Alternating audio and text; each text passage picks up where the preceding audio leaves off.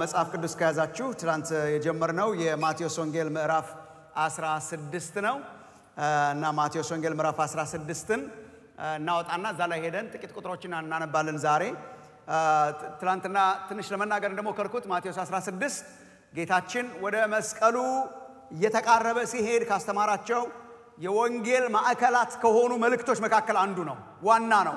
በጣም central ነው። ለማቴዎስ ወንጌል በጣም central ነው። shift የሚያመጣ ነገር ነው። ጌታ ኢየሱስ ያስተማረው የተናገረው እና እሱን ነው ለማየት የሞከርነው። ከማንበባችን በፊት ማቴዎስ ወንጌል ምዕራፍ 16 ቁጥር 18 ነው የመልእክታችን ርዕስ የሆነው። በእሱ መነሻነት ነው የተነሳ ነው። ጌታ ኢየሱስ የተናገረው statement ማለት ነው። ቤተ ክርስቲያኔን እሰራለሁ ነው። የመልእክታችን ርዕስም ቤተ ክርስቲያኔን እሰራለሁ ነው።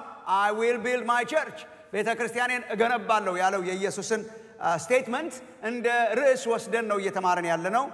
በዚህ መሰረት ትላንት ያየናቸውን ትንሽ ነገሮች summarize ላደርግላችሁ ሞክራለሁ። ለዛሬ ግን መነሻ እንዲሆነን ደግመን እንድናነብ ጠይቃቸዋለሁ። ማቴዎስ ወንጌል ምዕራፍ 16 ከቁጥር 13 ጀምሮ እስከ ቁጥር 18 ድረስ ያሉትን ቁጥሮች ለዛሬ እናነብና ሌሎቹን ደግሞ ነገና ተነገ ወዲያ ለማንበብ እንሞክራለን። የማቴዎስ ወንጌል ምዕራፍ 16 ከቁጥር 13 ጀምሮ እስከ ቁጥር 18 ድረስ ያሉትን እናነባለን። የሚመቻችሁ ከሆነ ቆም ብለን አንብበን ከዛ ጸልየን እንቀመጣለን። የእግዚአብሔር ቃል ነው እና በማስተዋል እንድንሰማ ጠይቃችኋለሁ። ኢየሱስም ወደ ፊልጶስ ቄሳርያ አገር በደረሰ ጊዜ ደቀ መዛሙርቱን ሰዎች የሰውን ልጅ ማን እንደሆነ ይሉታል ብሎ ጠየቀ። እነርሱም አንዳንዱ መጥምቁ ዮሐንስ፣ ሌሎችም ኤልያስ፣ ሌሎችም ኤርምያስ ወይም ከነቢያት አንዱ ነው ይላሉ አሉት። እርሱም እናንተስ እኔን ማን እንደሆንኩ ትላላችሁ አላቸው። ስምዖን ጴጥሮስም መልሶ አንተ ክርስቶስ የሕያው እግዚአብሔር ልጅ ነህ አለ። ኢየሱስም መልሶ እንዲህ አለው፣ የዮና ልጅ ስምዖን ሆይ በሰማያት ያለው አባቴ እንጂ ሥጋና ደም ይህን አልገለጠልህምና ብፁዕ ነህ። እኔም እልሃለሁ አንተ ጴጥሮስ ነህ፣ በዚችም አለት ላይ ቤተ ክርስቲያኔን እሰራለሁ፣ የገሃነም ደጆችም አይችሏትም ይላል። አጭር ጸሎት እንጸልይ። እግዚአብሔር እንዲናገረን። ይሄ ያንተ ቃል ነው ጌታ እግዚአብሔር ሆይ ለቃል ስልጣን እንገዛለን። ተራ መጽሐፍ አይደለም፣ የሰው ንግግርም አይደለም። በቅዱስ መንፈስ ነጅነት ቅዱሳን ሐዋርያትህ ነቢያትህ የጻፉት ስልጣን ያለው ቃል ነው ጌታ እግዚአብሔር ሆይ እናመሰግንሃለን። ጌታ እግዚአብሔር ሆይ በዚህ ዓለም ላይ ስንኖር ያለ መሪ ስላልተውከን፣ ያለ ካርታ ስላልተውከን መንገዳችንን እግዚአብሔር አምላካችን ሆይ እንዲያበራልን ቅዱስ ቃልህን ስለሰጠህን እናመሰግንሃለን። እግዚአብሔር አምላካችን ሕዝብህ ፈቃድህን እንዲያውቅ ሐሳብህን እንዲያውቅ እግዚአብሔር አምላክ ሆይ ብርሃንህን ስላበራህልን ተመስገን። ጌታ እግዚአብሔር የቃልህ ፍቺ ያበራሃል ተብሎ በቃልህ እንደተጻፈ ጨለማችንን ስለሚያበራው ስለ ቃልህ እናመሰግንሃለን። እግዚአብሔር አምላካችን መጽሐፍህን ገልጠናል። በቅዱስ መንፈስ ደግሞ እንድታስተምረንና እንድትናገረን እጸልያለሁ። እኔ ባሪያህ ዛሬም ለምልክት ነው የቆምኩት። በውስጤ እንድታልፍ በአእምሮዬ፣ በልቤ፣ በአንደበቴ በሁሉ ነገር ላይ እንድትነግስ እጸልያለሁ። ጌታ የሕዝብህ ልብና ጆሮ የተከፈተ እንዲሆን ማስተዋል እንድንችል መኖር የምንችልበት ጸጋ እንዲሰጠን እለምናለሁ። ዛሬም ጌታ እግዚአብሔር ሆይ ይሄ እንዲሆንልን ጌታ እግዚአብሔር ሆይ እንደ ቃልህ መኖር የምንችልበት ጸጋ አብሮ ከቃልህ ጋር እንዲሰጠን እጸልያለሁ። ወደዚህ ወደ ትሑት ሰው እመለከታለሁ ብልሃል ጌታ እግዚአብሔር ሆይ በቃሌ ወደሚንቀጠቀጥ ሰው እመለከታለሁ ብልሃል እና ጌታ እግዚአብሔር ያቺ ለቃልህ መንቀጥቀጥ ያቺ ትሕትና ያቺ ጌታ እግዚአብሔር መጀመሪያ የነበረችን አቤቱ የሥጋ ልብህ ስስ የሆነች ልብህ እንድትመለስልን እጸልያለሁ። መንፈስህ በመካከላችን ስላለ እናመሰግንሃለን። ልጅህን በመካከላችን ስለምታከብረው እናመሰግንሃለን። በጌታ በኢየሱስ ክርስቶስ ስም አሜን፣ አሜን።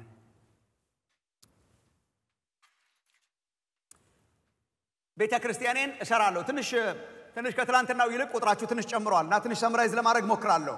ቤተ ክርስቲያኔን እሰራለሁ ያለው ጌታችን ኢየሱስ ክርስቶስ በማቴዎስ ወንጌል ምዕራፍ 16 ነው። ዋና የተነሳንበት ዓላማ እንደ እግዚአብሔር ሕዝብ እንደ ኪዳኑ ሕዝብ ከእግዚአብሔር አጀንዳ ጋር መታረቅ እንዲሆንልን ነው። የእግዚአብሔር ህልምና የእኛ ኑሮ እንዲስተካከል synchronized እንዲሆን ትላንትና እንዳልነው ልክ ድምፅና ምስሉ የተለያየ picture ማየት እንደሚያስጠላው የእኛ ህይወትና የእግዚአብሔር ዓላማ ሲለያይ በጣም ደስ አይልም። ስለዚህ እንድንገናኝ ከእግዚአብሔር አጀንዳ ጋር እንድንገናኝ ዳዊት በራሱ ዘመን የእግዚአብሔርን ሐሳብ ካገለገለ በኋላ አንቀላፋ ተብሎ እንደተጻፈ ከእግዚአብሔር ሐሳብ ጋር መገናኘት ያርግላችሁ እግዚአብሔር እና በምንኖርባት ህይወት ህይወት አጭር ናት። አልደጋግምላችሁም። ምንም አይነት ማብራሪያ አያስፈልጋትም። ያለ ማብራሪያ ብናምናት ይሻላል። ምንም illustration አያስፈልጋትም። በየቀኑ illustration እያየን ስለሆነ አጭር ነው life። ቅርብ ጊዜ በዩጋንዳ ካምፓላ።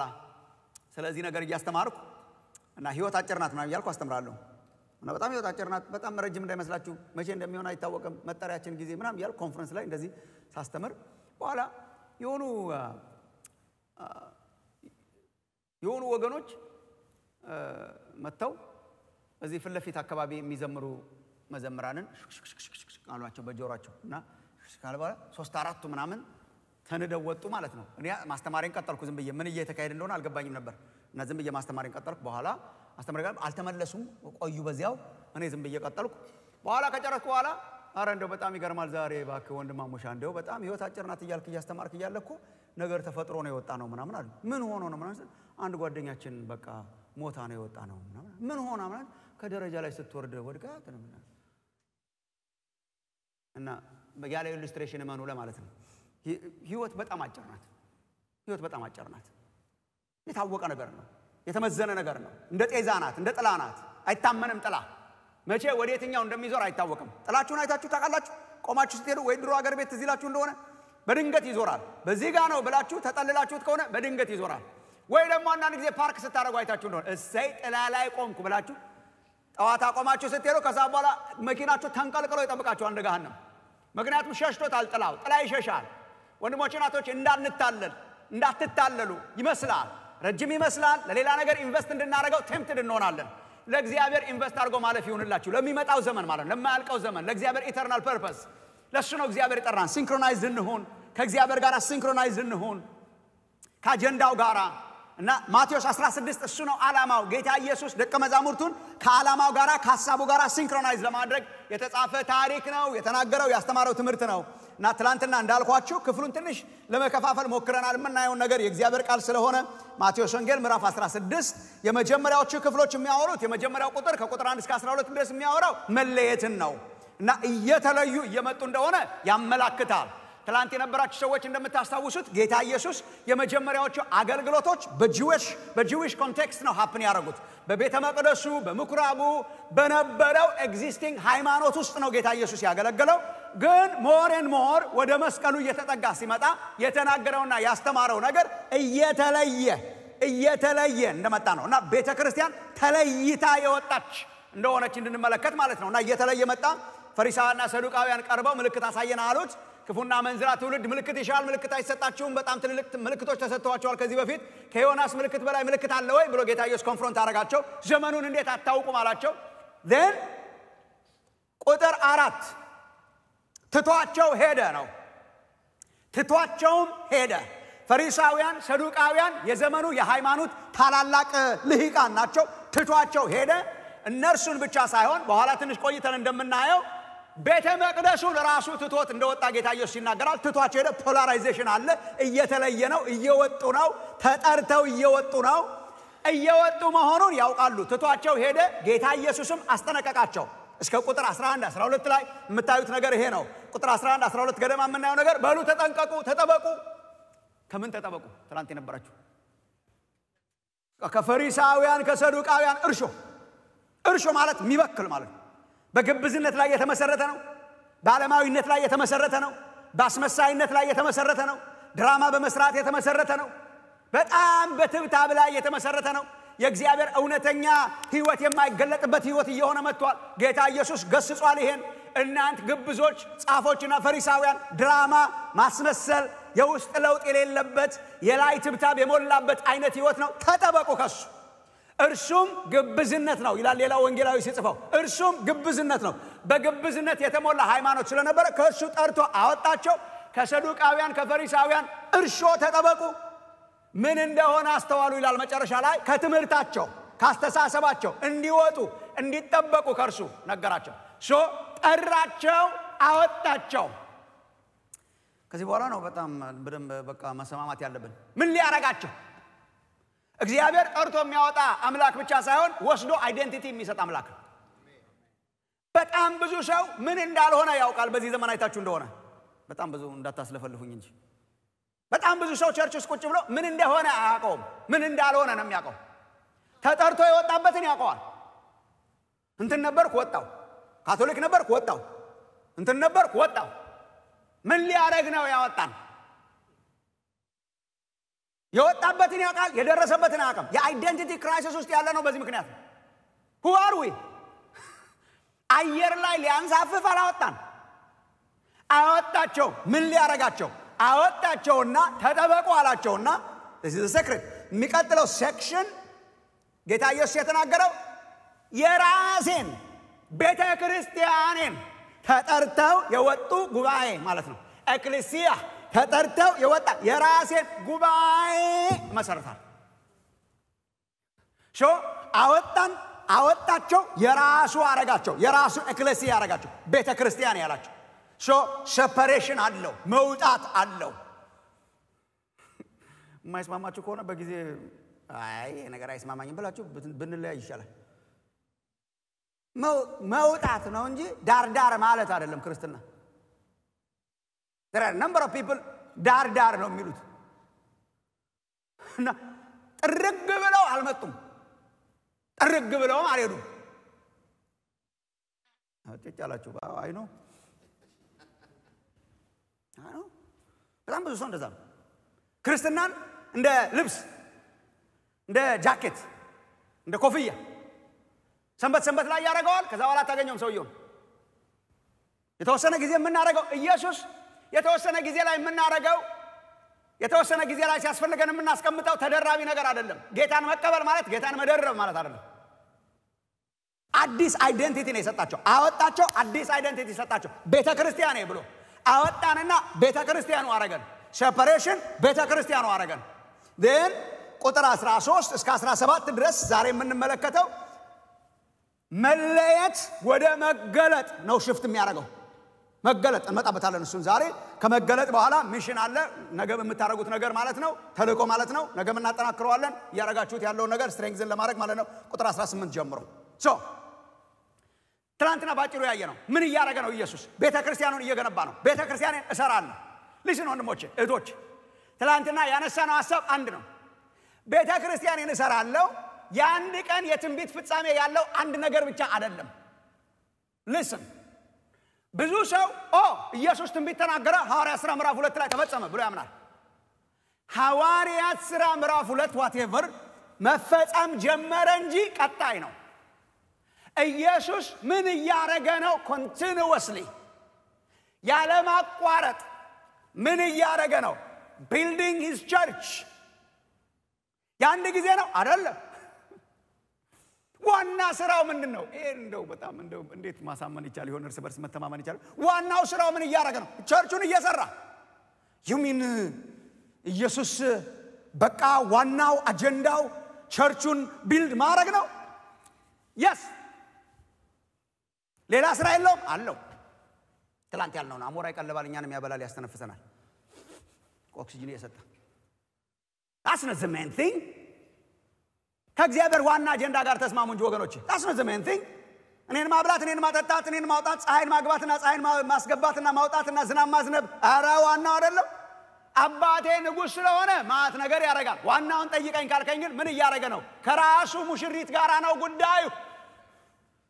ከሙሽሪት ጋር ከቤተ ክርስቲያን ጋር ነው ጉዳዩ። ቤተ ክርስቲያኑን እየገነባ እየሰራ continuously በጣም ብዙ ፓሴጆች አንስተናል። አላደክማችሁም። ኤፌሶን አምስት ራሱን አሳልፎ ሰጠ። መጨረሻ ላይ perfect የሆነች ሙሽሪት ለራሱ ያስረክባል። በመካከል ይገነባታል፣ ይንከባከባታል። ራእይ ዮሐንስ ምዕራፍ አንድ በመካከሏ ይመላለሳል፣ ይሰራታል። ድካም አለባት፣ ችግር አለባት፣ እየሰራት ነው፣ እየገነባት ነው። ሰባቱ አብያተ ክርስቲያናት ድካም አለባቸው፣ ችግር አለባቸው። በመካከላቸው ይመላለሳል፣ አገልጋዮቹን በቀኝ እጁ ይዘዋል። church ን አይተዋትም፣ እየሰራት ነው፣ እያስተካከላት ነው፣ እየገነባት ነው፣ እየተገነባን ነው። that's heart ልቡ ያለው church ግንባታ ላይ ነው። የእግዚአብሔር ማቆሚያ የሌለው ፕሮጀክት ቤተ ክርስቲያን ናት። continuous የሆነ ፕላኑ እሱ ነው። አንድ ቀን ተጠናቃ የራሱ እስከምትሆን ድረስ ምንም አይነት ምንም አይነት የፊት መጨማደድና ቆሻሻ የሆኑ ነገሮች እስከማይኖራት perfect ንጽሕት ድንግል የሆነች ሙሽሪት ሆና ለራሱ እስከሚያቀርባት ድረስ እየሰራት ነው። ምን እያደረገ ነው? ቤተ ክርስቲያንን እሰራለሁ፣ ቤተ ክርስቲያንን እገነባለሁ። building his church። የእኛ ሚና ምንድን ነው? አብረን እንድንገነባ እንድንገነባ፣ አብረን መገንባት መገንባት፣ አብራችሁ ትሰራላችሁ። ትላንትና ያነሳ ነው ኤፌሶን ምዕራፍ ሁለት አብራችሁ ትገነባላችሁ። እየተገነባችሁ ነው። church እየተገነባች ነው። የእግዚአብሔር አጀንዳም church ግንባታ ነው።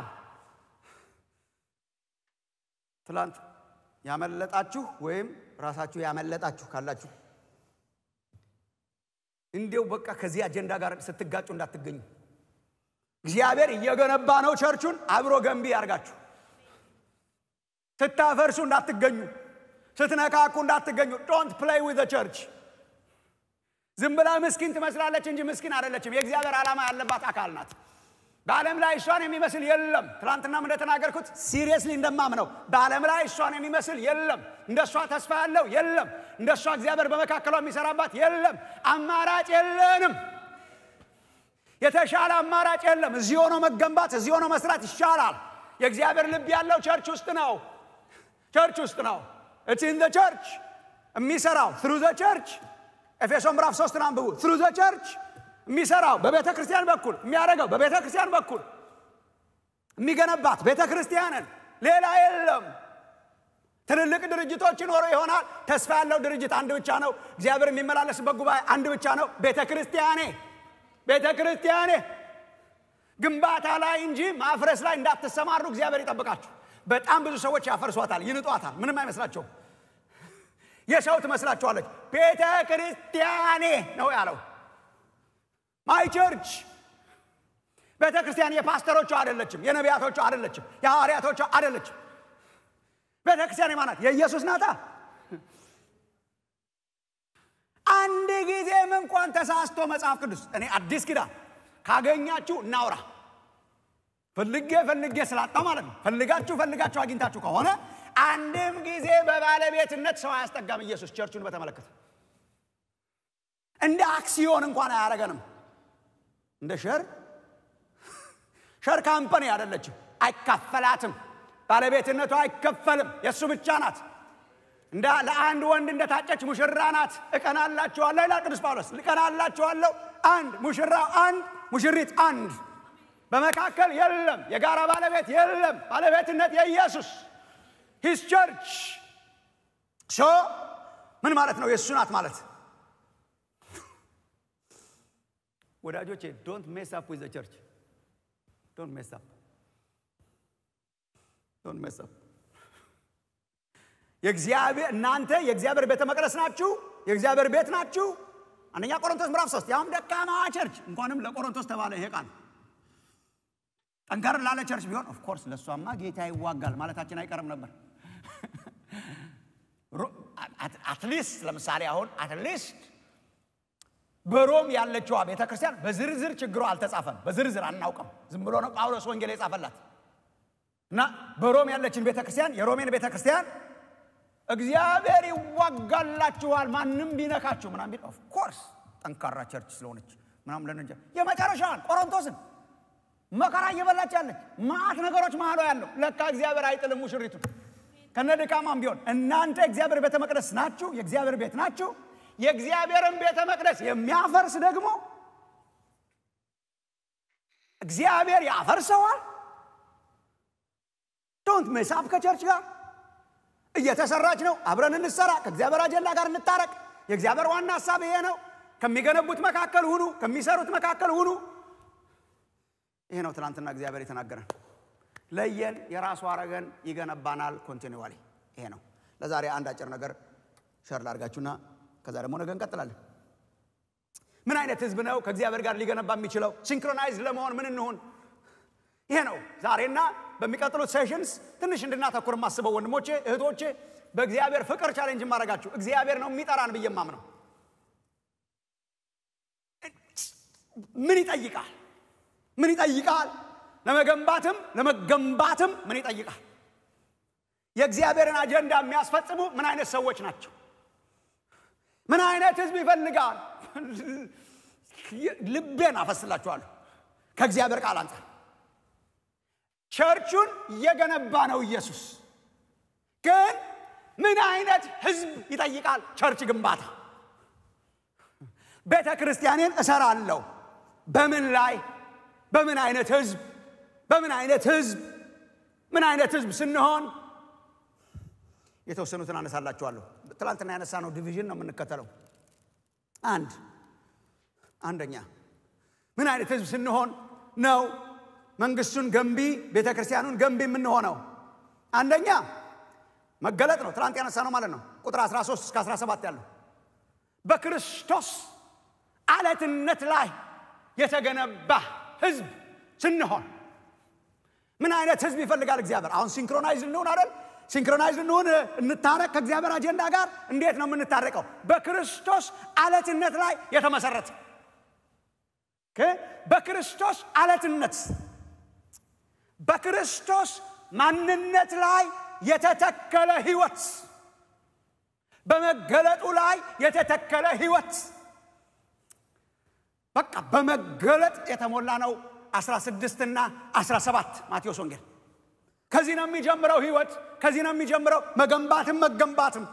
ቤተ ክርስቲያኔን እሰራለሁ ግን በምን አይነት ደቀ መዛሙርት? ነው ጴጥሮስና አስራ አንዱ አብረዋሉ ግን ስለ እነሱ ብቻ ሳይሆን ስለ ሁላችን። በምን አይነት ደቀ መዛሙርት? በምን አይነት ህዝብ? በተገለጠለት በሚገለጥለት በመገለጥ ላይ የተተከለ ህዝብ ያርጋችሁ እግዚአብሔር። Solid rock ላይ የተተከለ መገለጥ የተሞላ ነው። አሳያችኋለሁ። ቁጥር 13 እስከ 17 ምዕራፍ 16ም ምዕራፍ 17 እንዲያውም በሚመጣበት ክብር ተገልጦላቸዋል። ሶስቱን ወስዶ ተራራው ላይ በሚያስደንቅ ክብር ተገልጦላቸዋል። So እነኚህ passage 16 እና 17 በጣም በክርስቶስ መገለጥ ላይ የተመሰረቱ ናቸው። የክርስቶስ መገለጥ special የሆነ revelation አለ። It's passage of revelation ምን ይጠይቃል? revelation ከእግዚአብሔር ዓላማ ጋር መታረቅ ምን ይጠይቃል? መገለጥ። ምን አይነት መገለጥ? ይሄ ዝም ብሎ አይነቱ ሳይሆን ምን አይነት መገለጥ? የክርስቶስ ማንነት ላይ የተመሰረተ አለቱ ላይ የተተከለ ህዝብ እግዚአብሔር ያርገን። ተመልከቱ ተመልከቱ ላሳያችሁ ከእግዚአብሔር ቃል። የእኔ ቲዮሪ እንዳይመስላችሁ።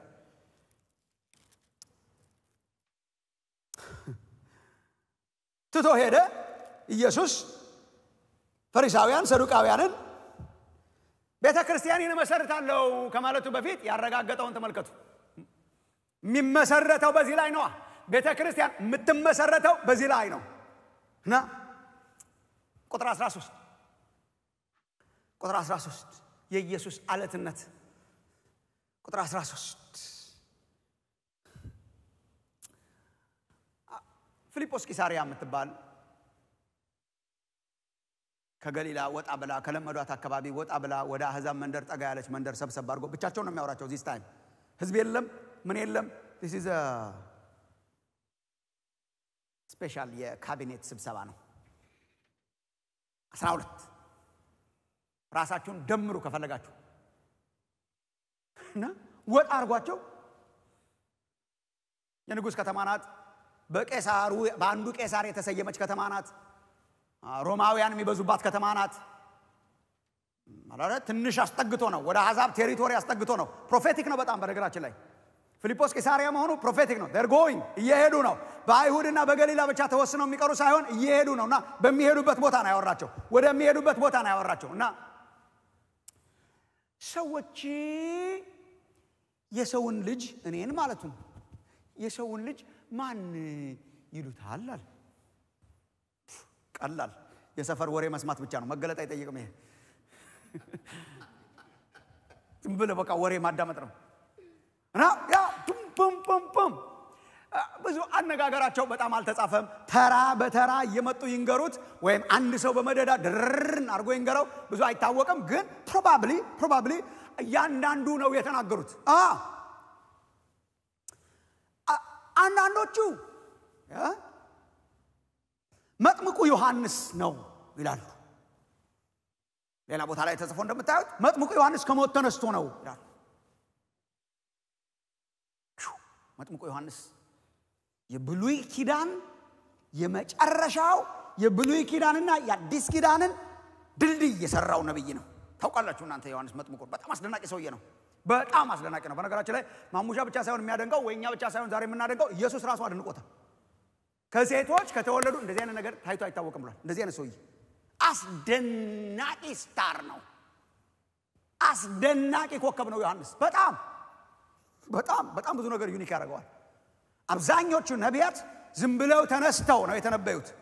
በነገራችን ላይ ዮሐንስ ስለ እርሱ ትንቢት የተነገረለት ነቢይ እንደሆነ ታውቃላችሁ። He must be very special። አሁን ኢሳይያስ ሲነሳ ተነሳ። አሁን ለምሳሌ አሁን ኤልያስ አስደናቂ ሰውዬ ነው፣ ግን ሲነሳ ተነሳ። ተስቢያዊ ኤልያስ ብሎ ነው የሚጀምረው። ይሄ እኮ ከዘመናት በፊት የተነገረለት ይመጣል፣ በኤልያስ መንፈስ ተነስቶ ይመጣል፣ መንገዴን የሚጠርግ የሚያስተካክል ተብሎ በነቢያት የተነገረለት አስደናቂ ነቢይ ነው። የሚያስገርም ስራ ነው የሰራው። ኢየሱስ ክርስቶስ ሲመጣ መሲሁ ሲመጣ ከፍ ያለውን ዝቅ ዝቅ ያለውን ከፍ አድርጎ መንገድ የደለደለው እሱ ነው። ያስተዋወቀው እሱ ነው። አሚን አስደናቂ ሰው ነው። እና ሰዎች ኢየሱስን አይተው እሱ ነው ማለታቸው ብዙ አይገርምም። ያ ያ አንዳንዶች መጥምቁ ዮሐንስ ነው ይላሉ።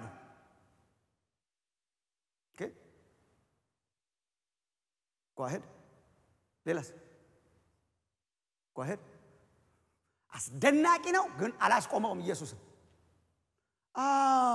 ጌታ ሆይ አንዳንዶች ደግሞ ኤልያስ ነው ይላሉ። ስለ ኤልያስ ምን አወራላችኋለሁ ወንድሞቼ እና እህቶቼ? ታውቁ የለ ኤልያስ ያ አስገራሚው ሰውዬ ማለት ነው። እሳት ከሰማይ ያወረደው ሰማይንማ መጫወቻ ያደረገው ሲፈልግ ይከፍተዋል፣ ሲፈልግ ይዘጋዋል። ዝናብ ያዘንባል፣ ድርቅ ያመጣል። እንዲህ ሰማይ በመክፈት በመዝጋት የተጫወተ ሰውዬ እንደሱ አይነት አይቼ አላውቅም። አይዘንብም ዝናብ ይላል፣ ቀጥ ሶስት ዓመት ተኩል እሺ ጨርሷል፣ ይመጣል ይላል፣ ይመጣል። እሳት ከሰማይ ይወርድ ይወርዳል። አሚን። የተነሳበት ዘመን ክርኩር ዘመን ነው። በጣም የጣዖት አምልኮ ዘመን ነው። ህዝብና እግዚአብሔርን ለማስታረቅ በሁለት ሀሳብ ታነክስ የነበረች እስራኤልን አንድ እግሯን ነቅሎ ወደ ያህዌ ለማምጣት በጣም የታገለ ሰው ነው። አዲስ ኪዳን ራሱ ሲመሰክርለት ባይዘወይ ኤልያስ እኮ እንደኛ ሰው ነበር የሚለን እኮ ያለመምሰል ነገር አለው። አስደናቂ ነው። ኤልያስ እንደኛ ሰው ነበረ የተባለ ማለት አስደናቂ ነው። አንዳንዶቹ ኤልያስ ነው ይላሉ። ጓሄድ አንዳንዶቹ ኤርሚያስ ነው ይላሉ።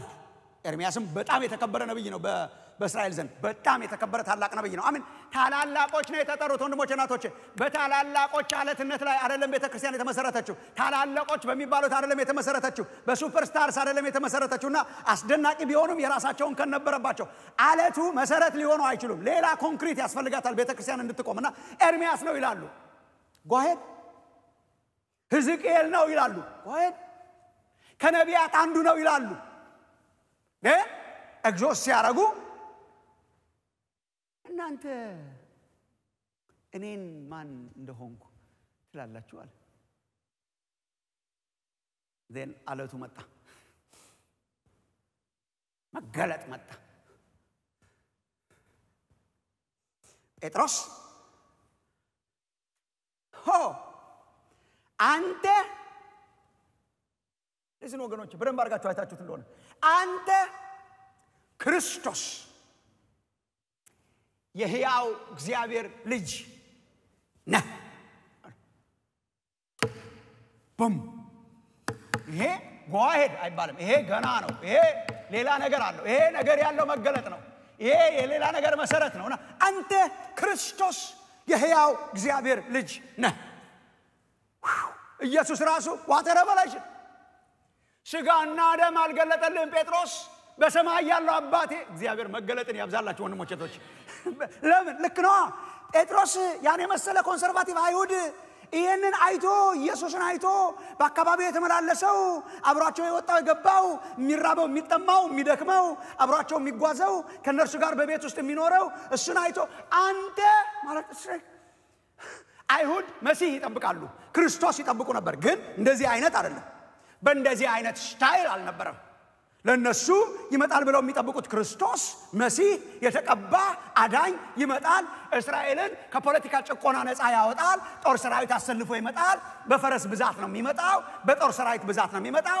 ከደመና ጋር ይመጣል ብሎ ስለተናገረ ዳንኤል ሳምሃው ደመና እየጋለበ በሚያስደንቅ አይነት ይሄ በሚታይ ግርግርና በጦር ሰራዊት ነው እንጂ የሚመጣው ይሄ አጠገባቸው ቁጭ ብሎ ደግሞ እሞታለሁ፣ እሰቀላለሁ፣ ይገደላል ምናምን የሚለውን አይተው ይሄን ሰንጥቆ የሚያሳይ የመገለጥ መንፈስ ያስፈልጋል። ሰንጥቆ የሚያሳይ የመገለጥ ስፒሪት ያስፈልገውና አየውና አንተ ለእኛ ክርስቶስ ነህ አለው። ክርስቶስ ነህ ምን ማለት ነው? የተቀባው የ anointed one ሲጠበቅ የኖረው አዳኙ አዳኝ ሆኖ የመጣው መድኃኒት ነፃ አውጪ ምንነቱን ያመለክታል። የኢየሱስን አዳኝነት፣ ሰውነት ሰው ሆኖ አዳኝ ሆኖ Christ ሆኖ መምጣቱን አንተ ለእኛ ክርስቶስ Christ። ይሄ በጣም ያስገርማል፣ በጣም ያስገርማል። አንድ አይሁዳዊ ኢየሱስን አይቶ you are Messiah Christ። እንዲሁም እሱ ስለ አዳኝነቱ መሲህነቱ ከእግዚአብሔር ተልኮ ስለ መምጣቱ በተናገረ ቁጥር ሰው ሁሉ የሚገርመው እንደዚህ መናገሩ ነበር። ኢየሱስን የዮሴፍና የማርያም ልጅ አይደል እንዴ አናውቀውም እንዴ እያለ የሚሄዱት ማለት ነው። እንዴት እንዴት ነኝ ይላል። እንዴት እንደዚህ አየውና ጴጥሮስ ነህ አንተ መሲሁ ነህ አዳኙ ነህ ክርስቶስ ን በጣም የሚያስገርመው መገለጥ ይሄ ነው። መሲህ ነህ አዳኝ ነህ የተቀባው ክርስቶስ ሴቪየር ከዛ በላይ ነህ አንተ የሕያው እግዚአብሔር ልጅ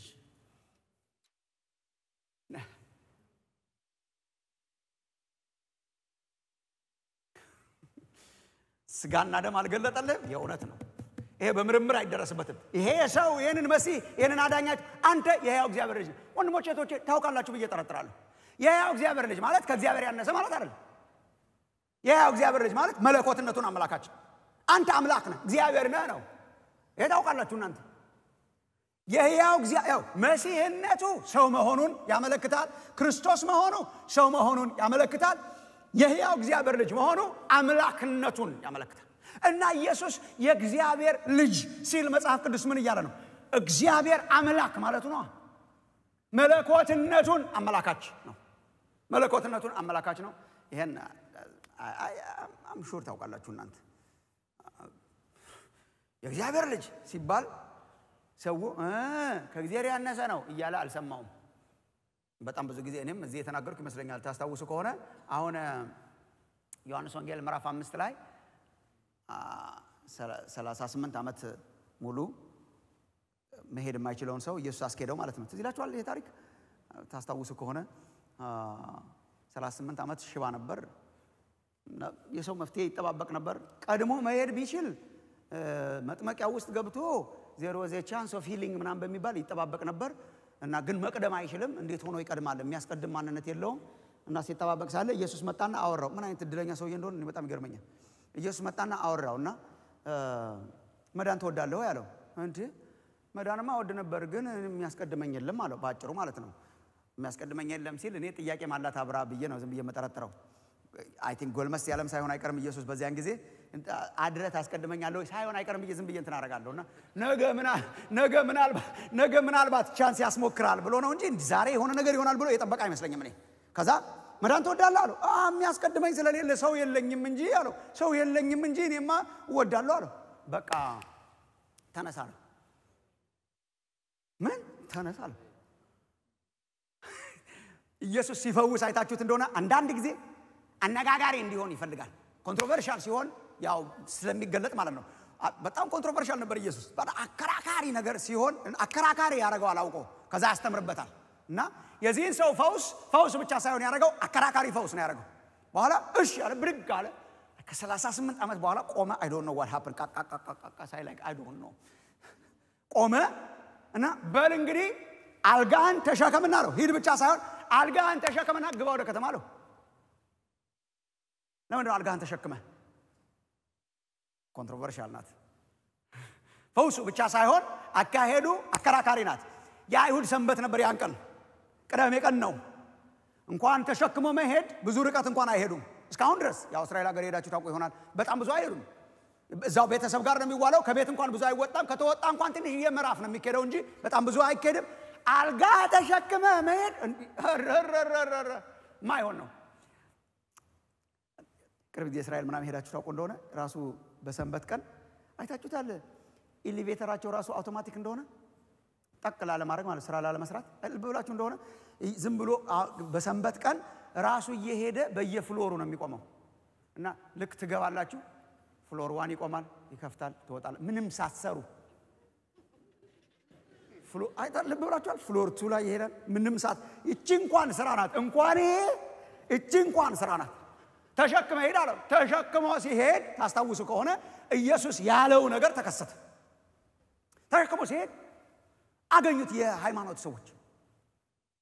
ያሳዝናል መቼም። እኔ በጣም አንዳንድ ጊዜ በጣም ሰውየው የታወቀ ይሆናል ብዬ ጠረጥራለሁ። እኔ በሰፈራችሁ ውስጥ ታውቁ ከሆነ እንደዚህ አይነት ሰዎች የታወቁ ናቸው። ይሄ ሁሉ ዓመት ቁጭ ያለ ሰውዬ በጣም ይታወቃል ብዬ ነው የማስበው። እና ቆሞ ካ እያለ ሲሄድ ምንስ ተሸክሞ ቢሄድ የዛን ቀን እንዲሁ ምንስ ቢያደርግ እንዲሁ ሰው በመቆሙ አይደነቅም ወይ? እንዲሁ እግዚአብሔር እኮ አይናችን ካልከፈተ መገለጥ ካልተሰጠ የመገለጥና የጥበብ ካልተሰጠ ተከልለዋል። እና እንዴት ቆምክ ሳይሆን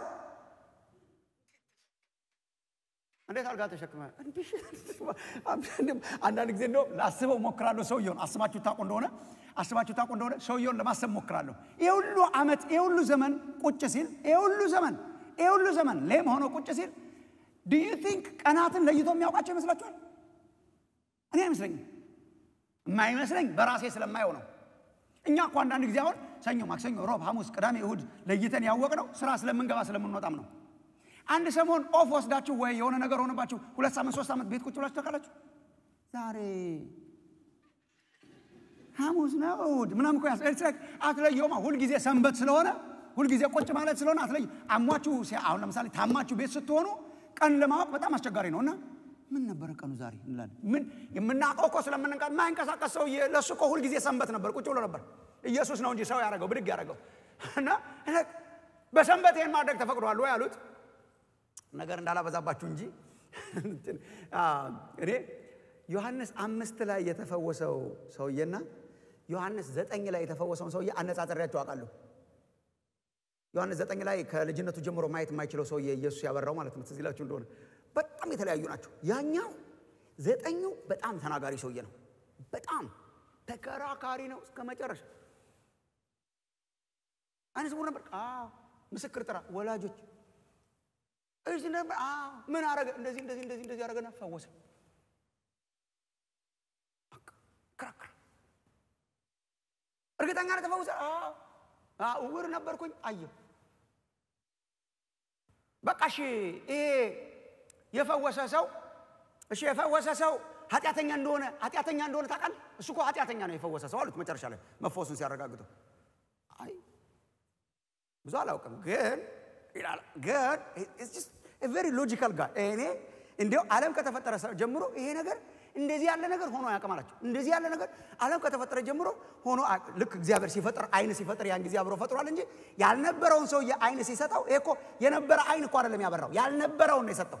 አይቶ አያውቅም ሰውየው እና ዓለም ከመፈጠሩ ጀምሮ እንደዚህ አይነት ነገር ሆኖ አያውቅም። እኔ እንዲያው መቼም ኃጢአተኛን ሰምቶ ያደርገዋል ብዬ ለማሰብ በጣም ልክ እንደዚህ ተከራካሪ ነው። አንዳንድ ጊዜ አንድ ጊዜ ለምሳሌ ምን አሉት? እኛ የሙሴ ነን አሉት።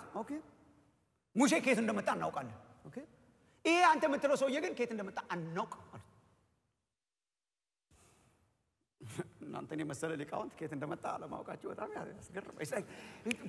በጣም መጨረሻ ላይ ነው ወደ ኢየሱስ የመራቸው እንጂ የቻለውን ያህል ይከራከራል። የዮሐንስ አምስቱ ብዙ አይከራከርም። በጣም ብዙ ሲከራከር አታዩትም። እና what he did was wise ነው እሱም እና አልጋ ተሸክሞ መሄድ ተፈቅዷል ወይ ሲል ኢየሱስም የፈለገው ይሄንን ስለሆነ አይ ያ ያዳነኝ ሰው አለ። በቃ refer ማለት ነው። ያ ያዳነኝ ሰው ተሸከም ብሎኝ ነው የምሸከመው የት ነው ያለው? ነገራቸው። ን ሄዱ። የሄዱበት ምክንያት ወንድሞች ናቶች ዮሐንስ አምስትን አንብቡ ከፈለጋቸው የሄዱበት ዋና ምክንያት ሰንበት ስለሻረ ነው። በሰንበት ሰው አልጋ ስላሸከመ ነው። ታትስ ሪዝን ግን ሄደና ሄደው ሲጠይቁት አንተ እንዴት በሰንበት እንደዚህ አይነት ነገር ማድረግ ተፈቅዷል ወይ አሉት። አባቴ እስከ ዛሬ ድረስ ይሰራል እኔም እሰራለሁ አለ። ምን ማለት ነው? አባቴ እስከ ዛሬ ድረስ በሰንበት ይሰራል ነው። ስለ ሰንበት ስለሆነ ክርክሩ። እግዚአብሔር ይሰራል በነገራችን ላይ። ለእኛ ሞዴል እንዲሆን ሰንበትን ሰጠን እንጂ እንኳን አንድ ቀን ሙሉ ቁጭ ብሎ ቢውል አንድ ማይክሮ ሰከንድ ቁጭ ቢል እኛ እንኖራለን እንዴ? የሚጠብቅ አይተኛ ማያንቀላፋ ምን? እግዚአብሔር እንዴት እንዴት እግዚአብሔር ዝም ብሎ ቁጭ ይላል በየደቂቃው በየሰከንዱ ውስጥ ትንፋሽ የሚሰጠን እሱ አይደል እንዴ? እሱ ዝም ካለማ እሱ ሰንበት ከወሰደማ እኛ ጠቅላላችን የዘላለም ሰንበት ነው የምንወስደው። መኖር አንችልም ፍጥረት ዓለሙ ጠቅላላ። like he sustains our life ህይወታችንን sustain የሚያደርገው እሱ ነው። አምላክ ባይሰራ አስበዋል? አምላክ አንድ ቀን ሙሉ ባይሰራ? so like come on እና ጌታ ኢየሱስ ይሰራል አባቴ አለ። አምላክ መሆን አለብን ለዚህ። አባቴ እስከ ዛሬ ድረስ ይሰራል። in equal terms እኔም እሰራለሁ ን አይሁድ ምን አሉ ይላል? አሁን ሰንበትን ስለሻረ ብቻ ሳይሆን ራሱን ከእግዚአብሔር ጋር አስተካክሎ አስተካክሎ በል በቃ ይሄ ነው ዓላማዋ። ራሱን ከእግዚአብሔር ጋር አስተካክሎ እግዚአብሔር አባቴ ነው ስላለ ሊገሉት ይፈልጉ ነበር ይላል እግዚአብሔር አባቴ ነው ሲል ኢየሱስ ምን እያደረገ ነው? እያስተካከለ ነዋ እየተስተካከለ ነዋ። የእግዚአብሔር ልጅ ነዋ። so ቤተ ክርስቲያን በምን አለትነት ላይ የተመሰረተች ናት? በኢየሱስ ክርስቶስ ክርስቶስነት መሲህነት ሰውነት ተልኮ መምጣት የተቀባው የዳዊት ልጅ አንድ ኢየሱስ ክርስቶስ የእግዚአብሔር ልጅ መለኮትነት። ሰው ነው አምላክ ነው። ሰው ነው መለኮት ነው። ይህን ነው ጴጥሮስ የተናገረው። አንተ ክርስቶስ ነህ መሲህ የተቀባ ንጉሥ ደግሞስ የህያው እግዚአብሔር ልጅ ነህ this is revelation this is revelation አለው ጌታ ኢየሱስ. this is revelation ይሄ መገለጥ ይህንን መገለጥ ያብዛላችሁ ወገኖች። ቤተ ክርስቲያን የተመሰረተችበት መገለጥ የኢየሱስ ክርስቶስ ማንነት ነው። ምኑ ማንነቱ? ሰውነቱ አምላክነቱ። this is gospel ወንጌል ይሄ ነው።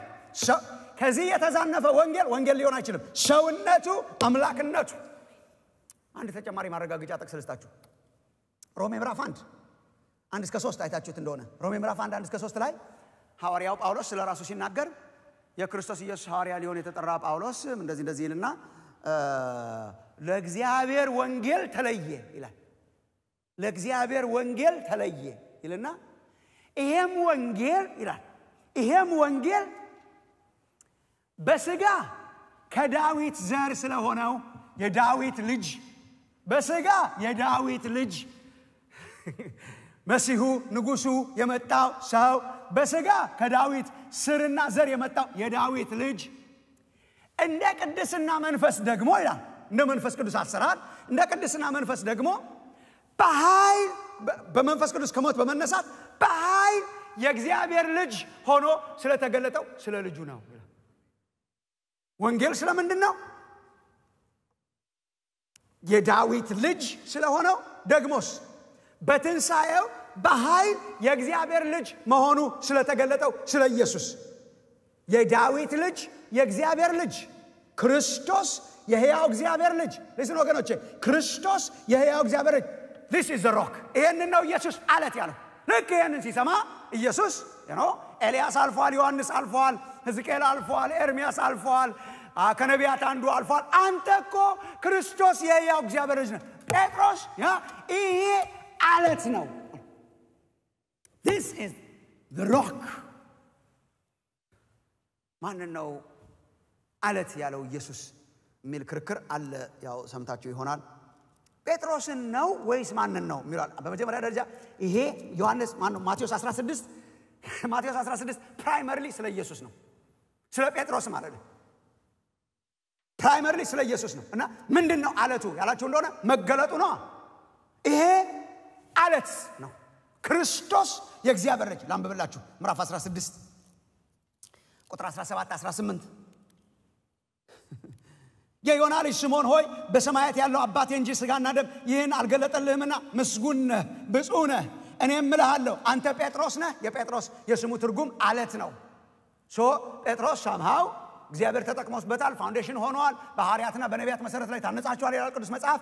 በአለትነት ሳይሆን በመሰረትነት ሳይሆን አስቀድመው በመስበክ ነው እንጂ ሌላ ነው አለቱ። አንተ ጴጥሮስ ነህ አለውና እኔም እልሃለሁ አንተ ጴጥሮስ ነህ በዚህችም አለት ላይ ውጭ አለት መገለጡ ነው። በዚህ አለት ላይ ቤተ ክርስቲያኔን እመሰርታለሁ። ቤተ ክርስቲያን የተመሰረተችው በጴጥሮስ አለትነት ሳይሆን ጴጥሮስ በተናገረው መገለጥ አለትነት ነው። ጴጥሮስ በኋላም አዲስ ኪዳን የሚያስተምረን እሱ ነው። በጴጥሮስ ላይ ተመስረታችኋል፣ በጴጥሮስ ላይ ተመስረታችኋል ሳይሆን በክርስቶስ ላይ ተመስረታችኋል ነው እስከ መጨረሻ ድረስ። መሰረቱ ኢየሱስ ክርስቶስ ነው። ምን አይነት መገለጥ! ኢየሱስ ክርስቶስ አንተ ሰው ነህ፣ አንተ አምላክ ነህ፣ አንተ ክርስቶስ ነህ፣ አንተ የሕያው እግዚአብሔር ልጅ ነህ። ይሄ አለት ነው አለው ኢየሱስ። ይሄ አለት ነው። በዚች አለት ላይ ነው ቤተ ክርስቲያኔን የምመሰርተው። ምን ማለት ነው ወገኖቼ? ቤተ ክርስቲያን የተመሰረተችው በክርስቶስ አለትነት ላይ ነው። ከእኛ ርዕሰ ጉዳይ ጋር ምን ያያይዘዋል? ቤተ ክርስቲያኔን እሰራለሁ። ይሄ ነው መልእክቱ። እንዲሁ በደንብ አድርጋችሁ ስሙኝ። ቤተ ክርስቲያኔን እመሰርታለሁ። ቤተ ክርስቲያኔን እመሰርታለሁ። ግን I have to make sure ምን ላይ እንደተመሰረታችሁ እናንተ ማን ትላላችሁ? የሰውን ልጅ ቤተ ክርስቲያን በማን ቤተ ክርስቲያንን አብሮ የሚገነባ ህዝብ ምን አይነት ህዝብ ነው? የክርስቶስ መገለጥ ላይ የተመሰረተ ነው። ዝም ብሎ የተሰባሰበ ሳይሆን የክርስቶስ መገለጥ ላይ የተመሰረተ የክርስቶስ መገለጥ ላይ ክርስቶስ የእግዚአብሔር ልጅ የእርሱ መገለጥ ላይ የእሱ አለትነት ላይ የተመሰረተ ተገልጦልሃል። ኖ ስጋና ደም ሳይሆን የሰማዩ አባቴ ገልጦልሃል ማንነቴን የተባለ ህዝብ መሆናችንን ማረጋገጥ አለብን። ቤተ ክርስቲያን የምትመሰረተው የምትገነባው መገለጥ የበዛለት ህዝብ ሲበዛ በመገለጥ ላይ የተመሰረተ በእውቀት ላይ ዝም ብሎ በስጋና በአእምሮ ሳይሆን በክርስቶስ ኢየሱስ በማንነቱ ላይ በአለቱ ላይ የተመሰረተ ስንሆን ነው። ቤተ ክርስቲያንን እገነባለሁ። ምን አይነት ህዝብ ይጠይቃል? የኢየሱስ ክርስቶስ ሬቨሌሽን የበራለት ህዝብ ያርጋችሁ እግዚአብሔር በቃ ሌላ ነገር ሁሉ ሌላ መሰረት ሁሉ ያፈርሳል። የማይነቃነቅ መሰረት ላይ መመስረት ከፈለጋችሁ ኢየሱስ ላይ ተመስረቱ። የኢየሱስ ክርስቶስ ሰውነት፣ መለኮትነት፣ ክርስቶስ ሰዋዊ፣ የሕያው እግዚአብሔር ልጅ መለኮታዊ፣ እሱ ላይ የተተከለ ህዝብ ነው ቤተ ክርስቲያኑን አብሮ የሚያንጸው የሚገነባው የሚገነባው የጥንት መዝሙሮችን አንዳንዶችን ዝም ብዬ ለማየት እየሞከርኩ ነው። ድሮ የተዘመሩ መዝሙሮችንና ትንሽ እድሜ እየጨመረ ሲመጣ እንደዛ ያደርግ እንደሆን እንጃ፣ ግን እንደዛ አይነት experience ውስጥ ነኝ አሁን ያሉት እና የድሮ መዝሙሮችን አንዳንዶችን ለማየት ሞክር። አሁን በስደት ጊዜ በዚህ የኮሚኒስት ስደት በነበረበት ጊዜና ቤተ ክርስቲያን ቤት ለቤት ትሽለኮለክ በነበረችበት ጊዜ በአገር ቤት እና በጣም በብዙ torture ና ስደት መካከል ትለቃለህ አትለቅም ምናምን ሲባል ቀጥ ብላ የወጣችው church ከምትዘምራቸው መዝሙሮች መካከል አንዱ ያገኘሁት አንነቃነቅም እንቆማለን ይላል። አንነቃነቅም እንቆማለን፣ መሰረታችን አለት ነው፣ አለቱም ኢየሱስ ክንደ ብርቱ ይደግምላችኋል። አንነቃነቅም እንቆማለን። ሌላ ነገር ሁሉ shaky ነው by the way አነ ለዚህ ነው ለካ ቀጥ ብላ የቆሙት። አንነቃነቅም እንቆማለን። መሰረታችን አለት ነው። አለቱ ኢየሱስ ክንደ ብርቱ። ወደ ግራ ልትገፋው ትችላለህ፣ ወደ ቀኝ ልትገፋው ትችላለህ። ኢየሱስ ክርስቶስ ላይ የተመሰረተ ህይወት ቀጥ ብሎ ይቆማል። ኢየሱስ ክርስቶስ ላይ የተመሰረተ ህይወት ይገነባል። ኢየሱስ ክርስቶስ መገለጥ ላይ የተመሰረተ ህይወት ቀጥ ብሎ ይቆማል፣ እግዚአብሔርንም ያስከብራል። አለቱ ኢየሱስ፣ የተመሰረትንበት ኢየሱስ፣ የቤተ ክርስቲያን መሰረት አለቱ ኢየሱስ፣ አለቱ ኢየሱስ። አንደኛ ቆሮንቶስ ምዕራፍ ሶስት ላይ መጥቼ መሰረትን መሰረትኩ ይላል ሐዋርያው ቅዱስ ጳውሎስ። እንደ ብልሃተኛ ናጢ አለቃ መጣውና መሰረትን መሰረትኩ ይላል። የቆሮንቶስን ቤተ ክርስቲያን የመሰረታት የተከላት እሱ ስለነበረ መሰረትን መሰረትኩ፣ የመሰረትኩት በክርስቶስ ላይ ነው ይላል። ከተመሰረተው መሰረት ውጭ ማንም እንዳይቀጥል ተጠንቀቁ። የተመሰረታችሁት ክርስቶስ ላይ ነው እና መሰረቱም ክርስቶስ ነበረ ይልና ከዚህ በኋላ የሚገነባ እንዴት እንደሚገነባ ይጠንቀቅ። በእንጨት እንዳይሆን፣ በሳር እንዳይሆን፣ በአገዳ እንዳይሆን፣ በደካማ ነገር እንዳይሆን። በደካማ ነገር ላይ ከመመስረት እግዚአብሔር ይጠብቃችሁ። ቤተ ክርስቲያኔን እሰራለሁ። ምን አይነት ህዝብ ይፈልጋል? የመገለጥ ህዝብ፣ ክርስቶስ ኢየሱስ የተገለጠለት ህዝብ፣ በክርስቶስ መገለጥ ላይ የተተከለ ህዝብ፣ በክርስቶስ አለትነት ላይ የቆመ ህዝብ ነው። ቤተ ክርስቲያንን በመጨረሻው ዘመን የሚገነባው የሚሰራው፣ አብሮ የሚሰራው፣ አብሮ የሚያጠነክረው፣ የሚመሰክረው፣ የሚወጣው፣ መንግስቱን የሚያሰፋው ምን አይነት ህዝብ ነው? በእንጨት በሳር ባገዳ በጊዜያዊ ነገርና በ emotion ላይ የተመሰረተ ሳይሆን በክርስቶስ አለትነት ላይ የተተከለ solid የሆነ solid የሆነ በዚህች አለት ላይ ቤተ ክርስቲያኔን እመሰርታለሁ። by the way ከመሄዳችን በፊት ነገም እንቀጥለዋለን። ቤተ ክርስቲያን ቤተ ክርስቲያን በቃ እንደው እርስ በርሳቸው የተፈላለጉባት ሰዎች የተሰባሰቡባት ማህበራዊ ስብስቦች አይደለችም። social issue ያገናኛቸው ነው። social issue ያገናኛቸው የሆነ social አጀንዳ ያገናኛቸው ሰዎች በሉ ኑ አንዲት ማህበራዊ ክለብ እንመስርትና ኑ እና ሰብሰብ እንበል በዚህ አጀንዳ ላይ በዚህ አጀንዳ ላይ በዚህ አጀንዳ ላይ በዚህ አጀንዳ ላይ ብላ የተሰባሰበች social club አይደለችም ቤተ እርስ በርስ ሲተያዩ ደስ የተሰኛኙ ጓደኛሞች ተሰባስበው በሉ ኑ አንድ ላይ እንሁን ተባብለው ቁጭ ያሉባት አይደለችም። የቤተ ክርስቲያን መሰረት social club ነት አይደለም። የቤተ ክርስቲያን መሰረትነት እርስ በርስ መተዋወቅ አይደለም። የቤተ ክርስቲያን መሰረትነት ዘርና ቀለም አይደለም። የአንድ ሀገር ልጆች ተሰባስበን አይደለም። ገት ነው። በአገር ልጅነት በሉ ኑ በቀለምና በአገር ልጅነት የቀለም ስብስቦች አይደለችም። የቋንቋ ስብስቦች አይደለችም። አንድ አይነት ቋንቋ ስናገኝ አብረን እናመልካለን። አንድ አይነት ቋንቋ ባንገኝም ቤተ ክርስቲያን ከቋንቋ በላይ ናት፣ ከዘር በላይ ናት፣ ከ culture በላይ ናት፣ ከሀገር በላይ ናት። ምን ላይ ነው የተመሰረተችው? የሀገር ልጅነት ላይ አይደለም፣ አይደለም። ባህል ላይ አይደለም፣ አይደለም። ቋንቋ ላይ አይደለም፣ አይደለም። social responsibility ላይ አይደለም፣ ኧረ አይደለም። ይሄ ሁሉ shaky ነው። እዚህ ላይ ከተመሰረተች shaky ነው። የተታረቅን ግን አንድ ላይ እንሆናለን። የተጣላን ቀን ትፈርስ ነበር። ቤተ ክርስቲያን ግን አትፈርስም። ለምን? መሰረቷ የእኛ መተዋወቅ አይደለም። መሰረቷ የእኛ ቀለም አይደለም። መሰረቷ የእኛ ቋንቋ አይደለም። መሰረቷ ኢየሱስ ክርስቶስ ኢየሱስ ክርስቶስ አለቷ ኢየሱስ አለቷ ኢየሱስ አለቷ ኢየሱስ አለቷ ኢየሱስ። ለዚህ ነው ቀጥ ብለን የምንሰራው። ለዚህ ነው ቤተ ክርስቲያን የምትገነባው። ሌላ ነገር ያመጣውን ሌላ ነገር ይወስደዋል። ኢየሱስ ያመጣውን ማንም አይነቀንቀውም። ሌላ ነገር ያመጣው እኛን ያሰባሰበን ዘራችን፣ ቀለማችን፣ ጎሳችን እኛን ያሰባሰበን የፖለቲካ አቋማችን አይደለም። my friend I don't care የፖለቲካ አቋማችሁ ምን እንደሆነ፣ I don't care ቀለማችሁ ምን እንደሆነ፣ I don't care ቋንቋችሁ ምን እንደሆነ፣ I don't care culture አችሁ ምን እንደሆነ። እኔና እናንተን ያገናኘን ወንድምና እህቶች ያረገን አንድ ላይ እንድንሰራ ያረገን አንድ ላይ እንድንገነባ ያረገን ኢየሱስ ክርስቶስ ኢየሱስ ክርስቶስ አለትነት so ለምንድን ነው ትላንትና እንዳልነው ማዕበል ሲነሳ ወጀብ ሲነሳ የሚበታትነን ሲነሳ why do we stick together መሰረቱ አንድ ነዋ። መሰረቱ አንድ ነዋ።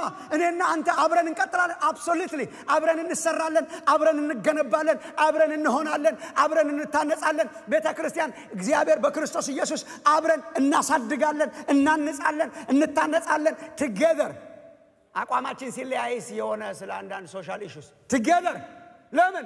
ማህበራዊ ነገር አደለማ ያገናኘን ቋንቋ አደለማ ያገናኘን አገር ልጅነት አደለማ ያገናኘን class አደለማ ያገናኘን ሀብታችን አደለማ ያገናኘን ኢኮኖሚ አደለማ ያገናኘን። ከፍ ዝቅ ሲል ከፍ ዝቅ እንል ነበር። እኛን ያገናኘን ከፍ ዝቅ የማይለው የማይቀንሰው አለት የሆነው ኢየሱስ ክርስቶስ ላይ መመስረት ያርግላችሁ እግዚአብሔር የመገለጥ ትውልድ ቤቱን ይገነባል ነው የዛሬው። ነገ እንቀጥላለን። የመገለጥ ትውልድ የኢየሱስ ክርስቶስ የመገለጥ ትውልድ አብሮ ይገነባል፣ አብሮ ይገነባል። የጳውሎስ መልእክቶች፣ ጸሎቶች እየገቡኝ የመጡት ዚህ ደይስ በዚህ ምክንያት ነው። የኤፌሶንን ክርስቲያኖች ተባርካችኋል፣ ተመርጣችኋል፣ የዘላለም ሕይወት ተሰጥቷችኋል፣ በመንፈስ ቅዱስ ታትማችኋል፣ ርስት ተቀብላችኋል፣ ጋራንቲ ተሰጥቷችኋል ምናም ብሎ በጣም እግዚአብሔር በክርስቶስ የባረካቸውን ተናግሮ ክርስቶስን አውቃችሁታል፣ የመዳናችሁን ወንጌል ሰምታችሁ በክርስቶስ አምናችሁ እናንተ ደግሞ በመንፈስ ቅዱስ ማተም ታትማችኋል ያላቸውን ክርስቲያኖች ሲጸልይላቸው ኤፌሶን ምዕራፍ 1 ቁጥር 17 ላይ የክብር አባት የሆነው የጌታችን የኢየሱስ ክርስቶስን አምላክ ይበልጥ እንድታውቁት my friend ይበልጥ እንድታውቁት የጥበብና የመገለጥን መንፈስ እንዲሰጣችሁ ያለ ማቋረጥ እለምናለሁ ይላል። ያለ ማቋረጥ እለምናለሁ። ምን የጌታችን የኢየሱስ ክርስቶስን አምላክ እርሱን ይበልጥ እንድታውቁት ምን እንዲሰጣችሁ? የጥበብና የመገለጥ መንፈስ ይጨመርልን። የጥበብና የመገለጥ መንፈስ እንዲሰጣችሁ አንዳንድ ንጭንጫችን ምክንያቱ የመገለጥ እጥረት ይሆን እንዴ? ሰው ሁሉ sensitive ነው these ትንሽ ስትነካው ይፈነዳል። ትንሽ በቃ church ለመምጣትም ትንሽ ነገር ነው የሚያስፈልገው። ለመቅረትም ትንሽ ነገር ነው የሚያስፈልገው። ለማኩረፍም ቅርብ ነን። በጣም የተዋደድን ለመምሰልም ቅርብ ነን። በጣም ለብዙ ነገር ቅርብ ነን። መገለጥ አጥሮን ይሆን? maybe ለኤፌሶን ክርስቲያኖች የተጸለየው ጸሎት we need that prayer በጣም ብዙ ምክንያት መሰለ የጥበብና የመገለጥ መንፈስ በአብዛኛውን ነገር አሁን እኛ የምንጨቃጨቅበትን እንድትንቀው ያደርግሃል። መገለጥ አደገኛ ነው። መገለጥ ስትፈልጉ አብራችሁ ፓኬጁን መውሰድ በጣም ጥሩ ነው። መገለጥ አደገኛ ነው። ምን ያደርጋል? ብዙ ነገር ያስንቃል። አሁን ያካበድናቸው ነገሮች የመገለጥ እጥረት ውጤት ናቸው። አንዳንድ ሰዎች አንዳንድ ነገር በጣም አካብደዋል። ያገኘህ እንደሆነ ያካበድከውን ያስንቃል። መገለጥ ከ warning ጋር ቢሰጥ ለሰው በጣም ጥሩ ነው። መገለጥ በጣም ፈልጋለሁ፣ በጣም መገለጥ ፈልጋለሁ። አሁን እኛ መገለጥ የምንለው ለነገሩ እቺ የስራና የገንዘብ ጉዳይ ሆነች እንጂ ዋናውን መገለጥ የክርስቶስ ኢየሱስን መገለጥ እግዚአብሔርን በጣም ላውቀው ፈልጋለሁ የሚል ሰው አብሮ warning ቢሰጠው ጥሩ ነው። አውቀሃል፣ እሺ፣ ዋና ብለህ የያዝከውን ሁሉ ያስጥልሃል።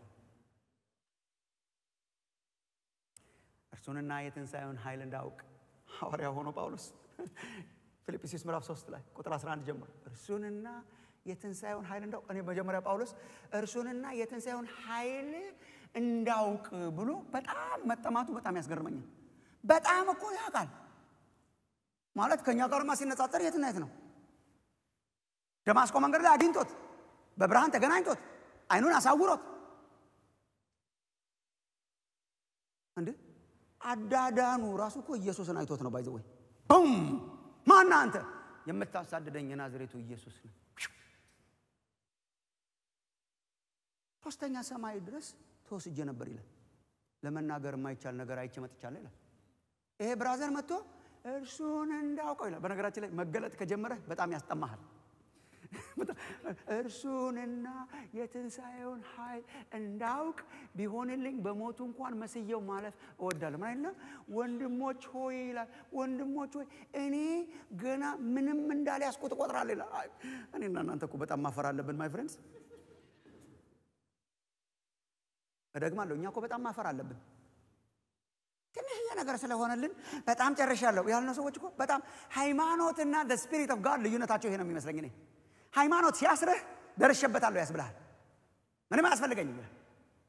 ምንም አያስፈልገኝ፣ ሀብታም ነኝ፣ ባለጠጋ ሆኛለሁ፣ ምንም አያስፈልገኝ።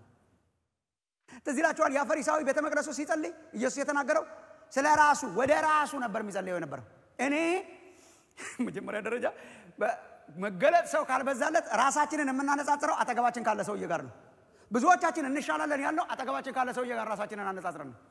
ይሄ ሰው እየገባና ቤተ መቅደስ ውስጥ እንደዚህ ቀራጭ ነገር ስላይደለው አመሰግን። ማነጻጸሪያው ይሄ ሰውዬ ነው እና ከዚህ ሰውዬ እሻላለሁ ብሎ ነው የሚያስበው። እንደዚህ ሰውዬ ስላይደለው አመሰግናለሁ። እኔ አስራቴን በትክክል አወጣለሁ። የቤተ መቅደስ አስራቴን በሳምንት ሁለት ቀን እጦማለሁ። ባም እግዚአብሔር ሲገለጥልህ ከዚህ ሰውዬ ጋር ሳይሆን ራስን የምታነጻጽረው ከዚያኛው ጋር ነው። ራስን የምታነጻጽረው መስታወትህ ኢየሱስ ይሆናል። የከበረው ኢየሱስ፣ ከፍ ያለው ኢየሱስ ይሆናል ማነጻጸሪያ። ይህንን ሁሉ ንቀህ ራስንም እንድትንቅ ያደርጋልና እርሱንና የትንሣኤውን ኃይል እንዳውቅ ቢሆንልኝ በሞቱ ልመስለው እመኛለሁ ይልና ምንም እንዳልያዝኩት እቆጥራለሁ፣ ምንም እንዳልያዝኩት እቆጥራለሁ እና አንድ ነገር አደርጋለሁ ይላል። የኋላዬን እየረሳው ከፊቴ ያለውን ለመያዝ እግዚአብሔር መዘርጋት ያርግላችሁ። የበለጠ እንድናውቀው የበለጠ እንደዚህ አይነት ሰው ነው እንደዚህ አይነት ሰው ነው መንግስቱን የሚያሰፋው እንደዚህ አይነት ሰው ነው መንግስቱን የሚያሰፋው እንዴ! ስለ ክርስቶስ ኢየሱስ ስለ ጌታ እውቀት ሌላው ነገር ሁሉ ጉድፍ እንደሆነ ቆጥራል ይላል ይንቀዋል ሌላውን ነገር። በክርስቶስ አለትነት ላይ የተመሰረቱ ክርስቶስ ኢየሱስ የበረራላቸው በክርስቶስ አለትነት ላይ ተመስርተው ሌላውን የሚንቁ እነርሱ ናቸው። በዘመን መጨረሻ ከእግዚአብሔር አጀንዳ ጋር የሚታረቁት ሁለት option አላችሁ ወንድሞችና እህቶቼ ከእግዚአብሔር አጀንዳ ጋር ታርቆ በጀግንነት ማለፍ ወይ ደግሞ የራሳችሁን አጀንዳ አርጋችሁ ከንቱ ሆኖ ማለፍ። ወንድሞችና እህቶቼ ከእግዚአብሔር አጀንዳ ጋር ታርቆ እግዚአብሔር ከሚሰራው ስራ ጋር ታርቆ ከእግዚአብሔር ፕሮጀክት ጋር ታርቆ እግዚአብሔር የሚሰራውን ስራ ሰርቶ እግዚአብሔር ለህይወቴ ያለውን ዲዛይን ጋር ታርቄ synchronize ሆኜ ማለፍ እፈልጋለሁ ካላችሁ መንገዱ ይሄ ነው። ሁልጊዜ የጥበብና የመገለጥን መንፈስ እግዚአብሔር ያብዛላችሁ። ኢየሱስን የሚያውቁ ክርስቶስ ላይ ያተኮሩ ክርስቶስ ኢየሱስ ላይ ያተኮሩ የኢየሱስ ክርስቶስ መገለጥ ኦቨርዌልም ያረጋቸው ሌላውን ነገር የናቁ ዕለት ዕለት የሚገለጥላቸው የክርስቶስ ብርሃን የበራላቸው ይገነባሉ ይገነባሉ። የመገለጥ ትውልድ እግዚአብሔር ያርጋችሁ እንደ ጴጥሮስ የተነገረው ስጋና ደም አልገለጠልህም በዚህ ዓለት ላይ ቤተ ክርስቲያን እንመሰርታለሁ የተባለው አንተ የያው እግዚአብሔር ልጅ ነው ያስባለው። ያ ሲበዛልን የመገለጥ እጥረት የተልከሰከሰ ነገር ውስጥ እንድንገኝ ያረገናል የመገለጥ መብዛት አብረን እንድንገነባ ያረገናል የጥበብና የማስተዋል የመገለጥን መንፈስ እግዚአብሔር በመካከላችን ይልቀቅልን